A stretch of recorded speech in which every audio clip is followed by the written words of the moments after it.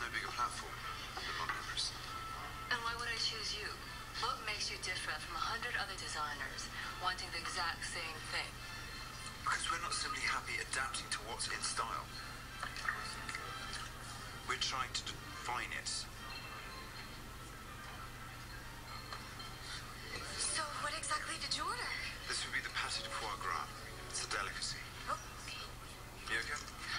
I'll. I prefer not to eat intestines of dirty